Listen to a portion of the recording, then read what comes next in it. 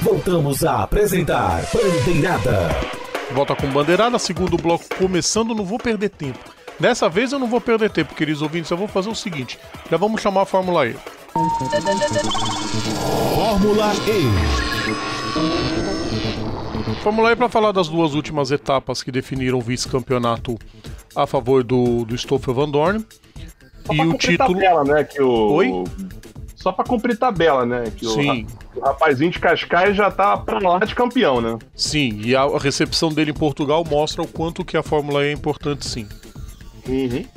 Esse, esse bando de povo aí, ah, eu não assisto categoria com motor elétrico, então se mata já. Já vai preparando o suicídio. Prova 5 e 6 de Berlim, primeira corrida na quarta passada, Oliver Roland venceu com Robin Fringes e René Rast completando o pódio, sensacional. Felipe Massa, o novo, novo dançarino da, da dança do desempregado. 13 terceiro colocado, Sérgio Sete Câmara 15 quinto, Lucas de Graça 21 primeiro, porque teve um pneu furado. Praticamente aniquilaram as chances do Lucas de Graça ser vice-campeão e ele de quarto ainda caiu para sexto na tabela final. Parabéns. Na corrida 6, a Mercedes fez uma dobradinha sensacional, imponente, mostrando que vai dar muito trabalho na próxima temporada. Stoffel Van Dorn venceu, Nick De Vries foi o segundo colocado, Sebastian Buemi foi o terceiro. Lucas de Graça. Oi? tava lembrando aqui, Rodrigo, o Nick De Vries, ele não tava na cara do gol pra ser piloto da Fórmula 1? Mais ou menos. Não, eu digo assim. É, Não, digo, ele ganhou a Fórmula 2, mas ele optou por ir pra Fórmula E. Tá certo, ele ia fazer o que na Mercedes falou Fórmula assim, 1? ó, se quiser, tem um salário poupudo pra você. Aonde? Na, na, na Fórmula E, pro Nick Ah, tá. Não, achei que fosse na, na Red Bull. Falei, ué, já começaram as. Não, não, não. Chegou. A Mercedes chegou pro De Vries. Você tem duas opções. Você quer ficar de piloto reserva do reserva aqui na Fórmula 1, ou, Fórmula, ou na Fórmula E com vaga garantida e um salário poupudo. Ele, opa, demorou. Não, demorou e andou bem esse ano e ano que vem ele vai incomodar. Aliás, Mercedes e Porsche ano que vem vão incomodar.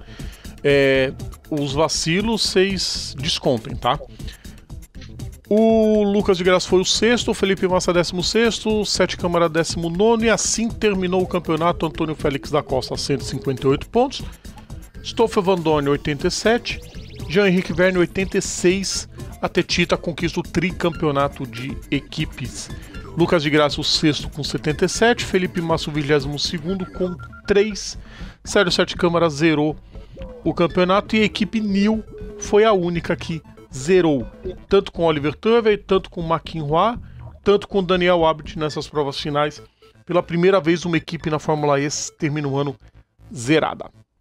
Sim, e, já, e tem novidades também já na Fórmula E, Rodrigo. Tem um monte de novidade já. É, tem mais, tem, tem mais um que vai estar junto com o Felipe Massa na dança do desempregado. New Yanni. Ah, esse já era meio Só que mal, previsto. mal, es- é, mal esfriou a vaga, já tem algum, já tem gente no lugar já. Pascal Verlaine no lugar de New Yanni na Porsche. Putz, segredo mais mal guardado esse. Com Perguntar- certeza. Tipo quando você conta aquele segredo pra sua tia. Ó, tia, não conta pra ninguém, viu? Meia hora depois tá no grupo da família no zap. né? Não, ou, tipo o Alonso quando voltou pra Renault, 2008. Todo mundo sabia que ele não, porque tem que esperar, porque não é assim, aquele puta anticlímax. Desde que o Verlaine saiu da Mahindra, metade do mundo sabe que ele ia pra Porsche se confirmou então André Lotter e Pascal Verlaine. Provavelmente a última chance do Verlaine mostrar que pode ser um piloto campeão, um piloto de ponta, que a situação tá feia pra ele. Eric, Fala tu. poupe minha voz agora, Jaguar e Trophy. Exatamente. Jaguar e Trophy teve, é, também teve as, as corridas 6 e 7 lá no, no, no aeroporto de Tempelhof, né? A primeira corrida vencida por Sa- Simon Evans, seguido por Sérgio Jimenez e Cacá Bueno. O Adalberto Batista ficou em décimo. A sétima corrida, Cacá Bueno venceu, seguido por Simon Evans e Sérgio Jimenez. E o, o Adalberto Batista ficando na oitava posição. Né? A... Inclusive, na, na- no, a, a- classificação final, eu vou, eu vou dar um, um- pular um pouquinho aqui. O Algo Saib, óbvio, foi campeão da Pro AM com 171 pontos. E aí vem a classificação final do, do geral. Cacá Bueno em terceiro, 111. Sérgio Jimenez segundo com 162 pontos. E Simon Evans campeão para um carai com 163 pontos. Eu não sei o que aconteceu, foi o apagão que deu no, no, no, no, no Sérgio Jimenez ou sei lá, né? Que ele conseguiu Não, foi virar foi na, bem- na- no Foi bem finalzinho. equilibrado. O problema foi esse. Na parte final, o Simon Evans cresceu demais e ganhou as provas. Muito, muito esquisito isso. Muito esquisito. Mas bom, pelo menos as, as duas temporadas de sobrevivência do Jaguar Trophy, uma ganha pelo Sérgio Jimenez, outra ganha pelo Simon Evans e o campeonato vai acabar. E vamos ver o que, que vai sair para 2021, para onde eles vão. Vamos girar a chave então, gente, saindo da trilha elétrica, indo para trilha de duas rodas, porque ainda bem que a gente pode pôr trilha para MotoGP. MotoGP. Temi demais que a gente fosse colocar marcha fúnebre hoje, Eric. Não, é. Aliás, só o seguinte, Eric e Carlos, vocês é, é, debatam porque o mais novo desempregado da praça venceu. Oh, Eu acho que eles não aprenderam com o Jorginho, né? Porque, de novo, na semana em que falou, ó, tal piloto da Ducati não trabalhará mais para a gente no ano que vem. O cara vai lá e engata uma vitória. Foi assim com o Lorenzo e nesse final de semana foi assim com o André Dovizioso. E mais, foi a 50 vitória da marca na categoria máxima. Desde Não foi, não 2003. foi só um picolé, foi tipo um caminhão de Häagen-Dazs todo que ele jogou em cima da, da categoria da, da Ducati. Mas a impressão que eu tinha é que já estava desgastado, Carlos. É, fato, Eu, ele já tava particularmente- meio que, sei lá, né? Eu, particularmente, achei muito abuso da parte do Dovizioso o, o aumento que ele queria de salário. Aí vai lamber, né? Sabão, né? A impressão que eu tenho, e, e, e motomaníaco, se eu tiver equivocado, vamos debater numa boa. Mas a impressão que eu dei é que o Dovi- o Dovizioso estava de saco cheio já. De ficar batendo, batendo, batendo, batendo, batendo, martelo, martelo e não conseguir de jeito nenhum. Vai tentar uma vida nova em algum canto. Assim, Mas fato, bom, se ele quiser ir pra Superbike, se ele quiser ir pra casa, ficar de boa. Não, eu, ele, se ele quis- se ele se aposentar, mesmo sem título, eu falo. Não precisa provar nada a ninguém. É um grande piloto. Isso é um fato. Fato. Tanto que ele, ele que foi quem fez frente ao Mark Marques nos últimos três anos. Exatamente. E ele ajudou a, a Ducati a voltar a ser grande, né? Depois dos títulos do, do- da passagem do Case Stoner. Aliás, ó, mais um na lista, tá? Case Stoner. Sim, e apesar de já ter de, do pessoal lá da Ducati falar assim, é, o Lorenzo ainda não tá fora do páreo. Eu ouvi assim, falei, não. Mas, né? É, porque eu acho que. Assim, eu acho lá. que Não, que eu digo assim, eu acho que o candidato francês à vaga enterrou suas chances depois dessa prova. Cara, tudo bem que ele veio falar ele, no, depois da prova. Ele falou assim: eu tive uns 10 minutos trocando ideia com o Valentino. Eu falei pra ele que, não, que eu não, não, não fiz isso. Eu, eu não tava fora de linha de, de, de direção tal. É, não considero, não considero Cara, que ele fez de propósito, longe disso. Até porque ele tava na frente já. Acho que ele foi meio imprudente. Não, não que ele tenha feito de propósito, Cara, mas ele, eu, eu acho que assim, ele, ele, ele tem um ímpeto, um ímpeto à la Montoya da vida que, cara, o problema é que tá Tanto deixando que de ser Montoya e tá virando o Magnussen, Carlos.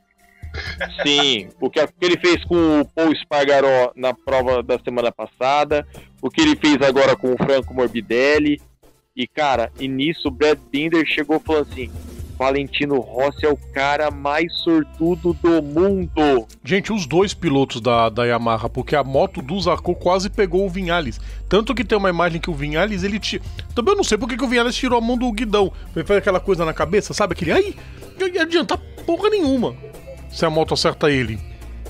Ah, neste momento, o, o Rodrigo, chegou a confirmação aqui agora que neste momento o senhor Marco Simoncelli, né, é, acabou de receber o, o prêmio de funcionário do mês, né?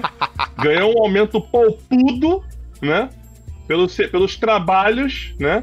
É, prestados no, durante a corrida, porque para livrar a cara do Valentino ali, né? Não, o Val... deu aquela empurrada. Para quem não entendeu, gente, é, é, isso é baseado numa numa uma charge que eu vi uma vez do do, do, do Simon, o, o Valentino, acho que foi 2015, 2000, não foi, logo, logo no ano que ele morreu. É, que eu tava lá o, o, o, o, Valentino na moto e o Simoncelli de carona na moto, na, é, com uma. Acho que, acho que tá, tá com a metralhadora pra pegar os caras da frente lá. Tipo assim, vai pra cima, né? Eu lembro dessa, eu lembro dessa chave. Acho que foi até capa no meu Facebook uma vez. Sim. Né? Então, o... então foi. Foi feio o acidente, viu, gente? Olha. Não. Cara, aquilo ali foi nossa, a gente foi a, Cara, imagina você, tipo, você fazendo a, o, um grampo, você tá em. começando a acelerar, tipo, a 90, 100 por hora, passa uma moto, um, um pedaço de metal, pedaço não, uma bola de metal a quase 300 na sua frente, assim. Bum! Foi muito tenso. Não, e foram duas, né? O pior de tudo é que foram duas. Foi a do Morbidelli, que passou mais perto do Rossi, e depois a do Zarco, que quase acertou o Vinhales. Pode botar a data de nascimento nova para os dois, porque os dois foram sensacionais. Várias quedas, vários tropeços, várias zoeiras. E o Juamir conseguiu seu primeiro pódio na categoria. Jack Miller foi o terceiro colocado. Alguém tem alguma coisa para falar da MotoGP? Porque me aguardem no zero. É, eu vou falar também se lá no zero, se for, se for sobre o francês, o que ele falou na semana, não. Inclui. Não, não, não, não é sobre ele, mas me aguardem no zero. Tá, mas eu vou falar no zero também sobre isso. Beleza. Eric, tem mais algum destaque da MotoGP? Na MotoGP, até onde eu sei, não. Por hora, por hora acho que fechou. Tirando, claro, o. o, o, o... Cara, na boa. Esse, esse, incidente aí do que quase levou os, os pilotos da, da Yamaha é o, é o RK do ano, praticamente. É o RK do ano. Eric, bom que a gente pode falar isso. Saíram intactos. Cara, não, o pior é. Rodrigo, o pior é que quando, quando, eu, quando eu vi o. Eu vi o acidente na hora, eu, eu vi o acidente, vi a, é, é, é a, a, o negócio acontecendo, eu falei assim, o cara, o maluco morreu. O maluco morreu ali. Aí quando eu vi que os Quando eu vi o, o, quem que tava lá em posição fetal ali, que eu não lembro é, agora? Foi o Morbidelli, o Franco Morbidelli. Quando eu vi que o Morbidelli tava, tava, tipo, tava tipo em posição fetal, que era uma posição assim, tava, tava se mexendo, mas tava tipo assim, encolhido ali, eu falei assim, bom.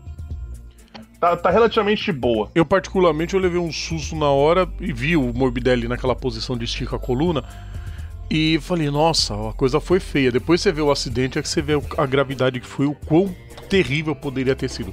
Como poderia ter sido terrível também na Moto 2, o acidente que envolveu o Enea Bastianini, o Rafi o Edgar Pons e o Farid Isdihar.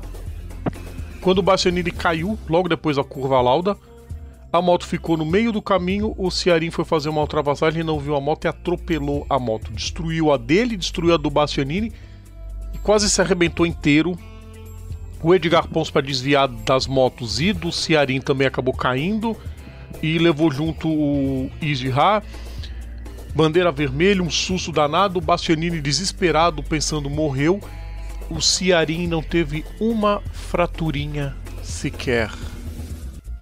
Essa eu assustei mais, essa eu achei que o Rafi Ciarim tinha morrido. Não, a, a panca do Ciarim também, cara, eu olhei e falei, meu, morreu. Porque é. do jeito que pegou ali, ele, a moto rampou. E eu levei um susto maior com a do, da Moto 2 do que da Moto GP.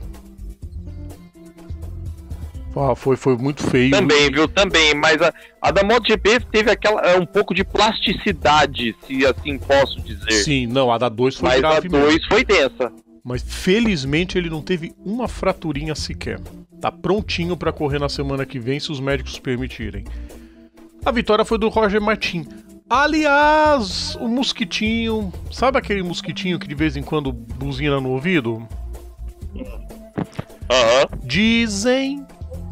dizem que ele estaria sendo convencido pela Red Bull, pela turma da Red Bull e pela KTM, a ficar mais um ano na Moto 2, em vez de ir para Pramac, mais um ano na Moto 2, com uma possibilidade de subir em 2022, provavelmente no lugar do Lecuona. Se o Lecuona não emplacar, ou se o Petrucci for um vexame, o Jorge Martin entra na Tech 3.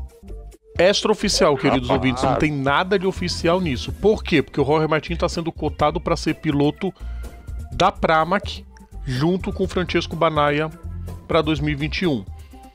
Com essa coisa do Dovizioso, não sei ainda o que vai acontecer, mas foi um buchicho que eu andei ouvindo. Luca Marini foi o segundo, Marcel Schrotter o terceiro colocado.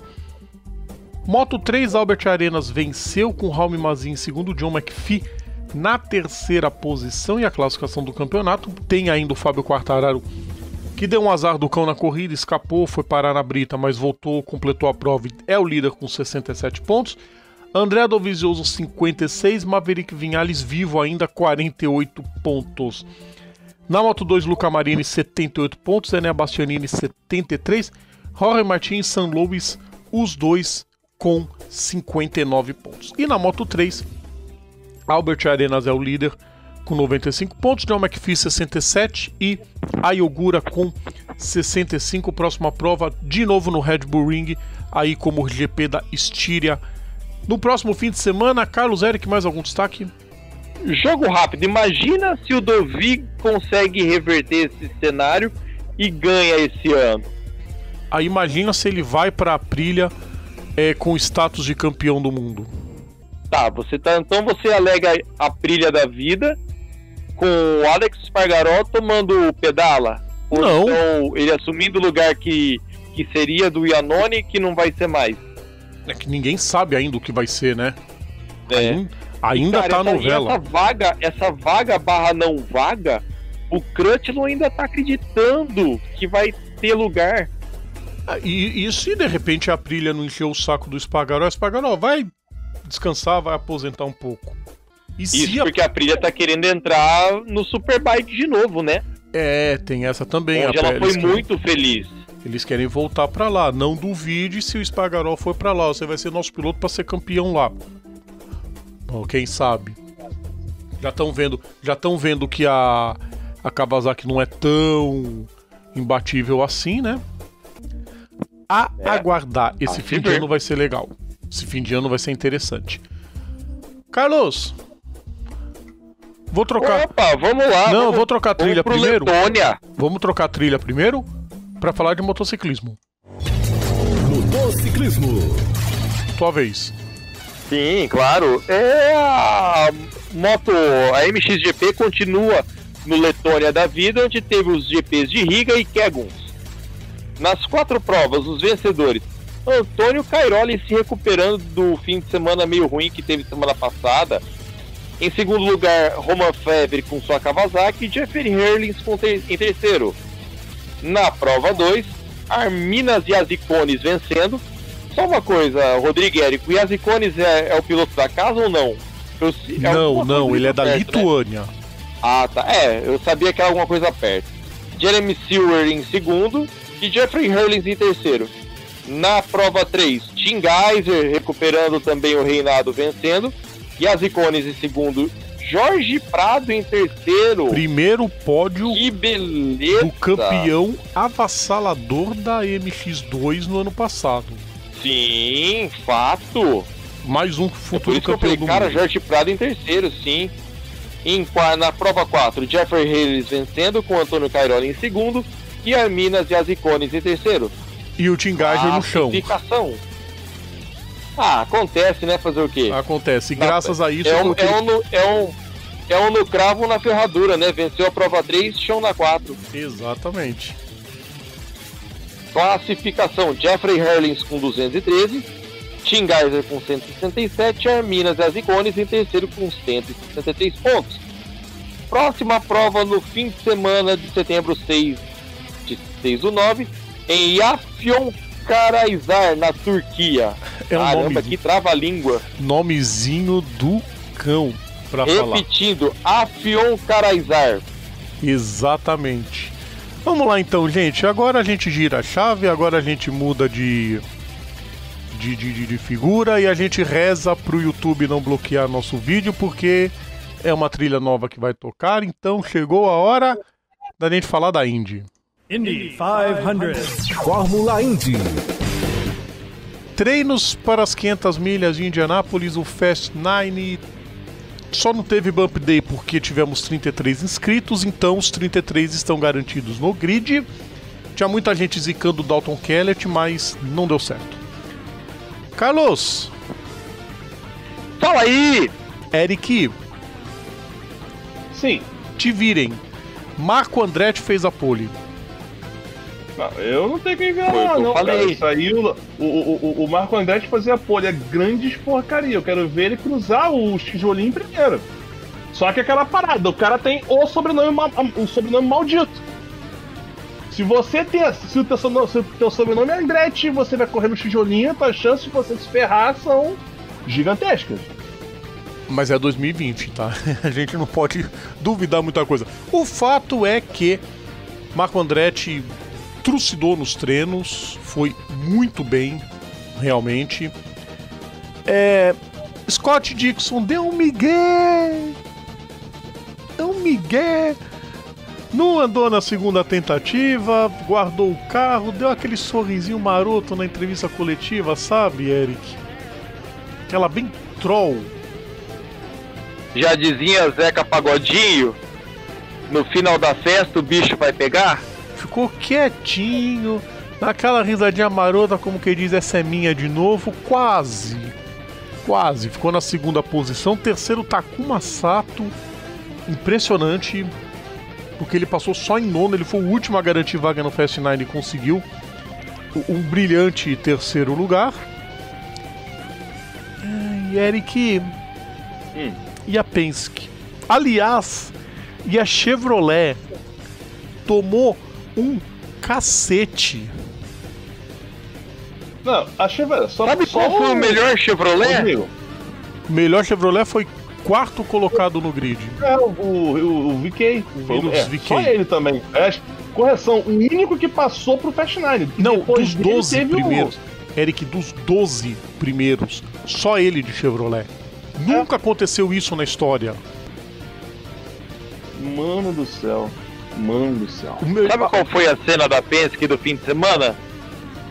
Qual dela? O Will Power ontem com, com, uma, com um binóculo olhando o desempenho dos outros na pista. É só assim mesmo. O melhor carro da Penske, 13 terceiro com o New Garden. Mas o, o, o, o Rodrigo, na verdade é porque é o seguinte, não sei se vocês, não sei se vocês estão ligados, mas é porque esse ano a, a Penske, né, celebra o jubileu de prata do do vexame de 95, né? Então eles resolveram tentar re- reviver aquele momento É, histórico como- da equipe. É a única explicação plausível. Não, mas essa prova promete ser. Essa prova promete ser totalmente diferente das últimas que a gente viu. Porque vê só, Ed Carpenter. Todas as vezes que ele correu em Indianápolis, ele passou pro Fast Nine. Vai largar em 16. Isso quando ele no Fast Nine não garantia a pole, né? Exatamente. Não, por isso que eu achei mais surpreendente ainda. Ahn, outro carro que anda muito bem em Indianápolis, que são os carros da Dreyer Hambold. Última fila para os dois, tanto para o C de Caran quanto para o J.R. Hildebrand. Aí na última posição o Ben Haley da Dragon Speed. Caraca, o H3 na 28ª posição. Sim, 28 posição. Fernando Alonso, 26. É, Simon Pagenaud, 25. Tony Canan, 23. Meu, Tá, ó, tudo bem que o, o, o- carro da. O carro do Canaã, pelo amor de Deus, já, já, já, é meio memes, né? sim. Tá E cara, detalhe, mas- o, eh, pra essa prova o chassi novo, carro novinho em folha pro Tony. Não tem nada de remendo ali. A equipe já é um remendo, quilômetro. Carlos. Hã? A equipe já é um remendo.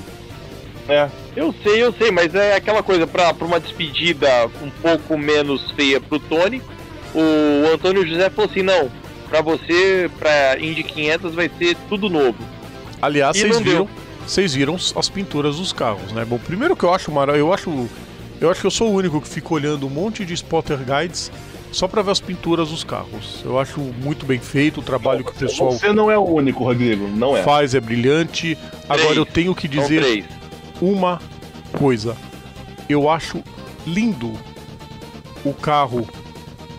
Vai largar em último, não interessa, mas o carro da Dragon Speed é muito bonito. A pintura do New Garden é maravilhosa, esse carro da Penske com a marca da Shell V-Power. Brilhante. E ó, Você falou? o do. do New Garden. Ah, sim, sim, sim, sim, sim, sim. E Eu nós confundi. temos, entre os nove, nós temos quatro carros da. Quatro carros da Andretti. Entre os. Aliás, cinco. Cinco. Quatro da Andretti. Contando o Marco Andretti, que é da equipe, né, Andretti Herta. Os dois da Rei Hall, um da Ganassi, um da Carpenter. E um da Dale Coyne. E outra coisa Verdade. também, o, o, o, Rodrigo. O. O. O Marco, ele tirou a melhor volta. Volta, tá? Não. Não o tempo total. A melhor volta de todos, os- de todos os 33 na- durante a classificação. Ele botando 231,8. Sim. Ninguém fez isso. Sim. Não, e ele já tinha quebrado o recorde no- nos treinos preparatórios. Ele detonou. Ele tá, por enquanto, com fino. Vamos ver se é o canto do cisne. Agora vamos ver o domingo, né? Vamos ver no domingo, dia 23 de agosto, a partir da uma da tarde. Cara, 500 milhas de Indianápolis. Essa vai ser. se o, se o Marco vencer, velho. O, o Mário, o Mário, o Mário, coisa de semanas, barra mês, vai falar assim, ó, tô indo nessa, gente. Agora posso descansar em paz. Acabou a maldição. Cara, não, se o Michael ganhar. O Michael acho que também endoida. É. Porque o Michael bateu na trave É, o Michael vezes. endoida e o, e o Mário fala assim, agora eu posso dormir em paz, posso descansar em Não, paz. todo mundo. O, o, o, o, A cara, família inteira vai ficar só o família Vasco no toda. mundo. É maldade. Cara, eu só sei que essa corrida. Não, O, Ma, o Michael, o John, o Jeff, quem mais dos Andretti que tentou e não conseguiu, Aldo. além desses três? O Aldo. O Aldo também. O Aldo. Aldo? O Aldo também. Cara, O irmão É do verdade, Mário. o Aldo. eu só sei Quai, ó, quatro. o seguinte: vai ser uma prova sensacional. Porque a Chevrolet não vai querer ficar pra trás, os caras com certeza estão sentados buscando alguma coisa pra esse motor. Amiguinhos, eu, eu, tô, eu tô sentindo, eu vou dar um palpite aqui. E vocês sabem que quando eu dou palpite em de 500, pi- eu perigo ganhar sozinho, né? Olho Ah, no vai. Takuma. Ah, isso é palpite fácil, ele tá largando entre os três primeiros. Eu vou palpitar que o vencedor vai sair da décima posição pra baixo. Rapaz, Ah, mas da, é, da outra vez que, que eu, dei, eu dei o palpite do Takuma, ele também tava no Fast Nine. Aí vocês, não, acho que não. Levei sozinho. É. Com o rabo do cão. Porque o motor não estourou. Foi o único Honda praticamente que não estourou. O dele. Quebrou de todo mundo. Pois é. até o do Alonso. Até o do Alonso, lógico. A graça tá onde? Vamos pro intervalo, gente? E o meu motor, Bora. meu piloto, rapidinho. Qual deles? Takuma, né? E o meu motor, meu piloto? Fica onde? É. É meu motor, meu piloto. É. E aí dele que não que tivesse motor estourado. Ele quebrava todo mundo lá na rua. Bora pro intervalo então, família. Agora, olha, promete ser uma das melhores Indy 500. O povo que tá lá atrás não vai querer ficar lá atrás tão cedo, não. E, ó. Aguardem, assistam, deem algum jeito de assistir. Certo? Porque nós vamos pro intervalo. Daqui a pouquinho a gente tá de volta.